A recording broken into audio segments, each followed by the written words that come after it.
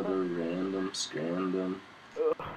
They just got 1v3 I knew I was gonna clutch it as soon as I fucking killed the first kid.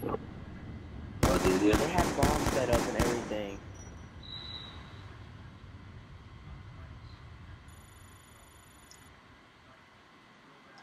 Solid execution. Good job.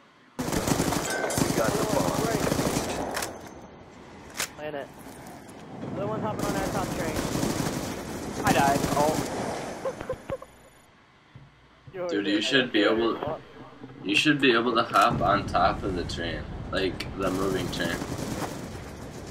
Wouldn't that be cool? I thought you were gonna jump on top of the other train.